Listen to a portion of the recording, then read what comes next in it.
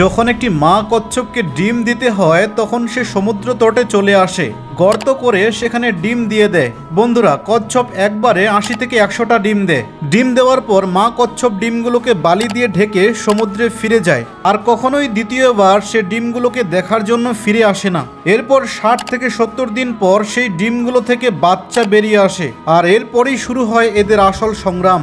কারণ বালিতে ঢাকা থাকার জন্য সিক্সটি পার্সেন্ট বাচ্চা বাইরে বেরিয়ে আসতে পারে না। সেখানেই চাপা পড়ে মরে যায়। বাকি যে বাচ্চাগুলো বাইরে বেরিয়ে আসে, তারা সমুদ্রের দিকে চলা শুরু করে। কিন্তু এদের জন্য আকাশে অপেক্ষা করে থাকে বাজ আর শকুনের মতো ভয়ঙ্কর শিকারী প্রাণীরা, যারা এই কচ্ছপদের ধীর গতির জন্য খুব সহজেই এদের শিকার বানিয়ে নেয়। এরপর কেবলমাত্র বিশ শতাংশ বাচ্চাই সমুদ্র পর্যন্ত জীবিত পৌঁছতে পারে।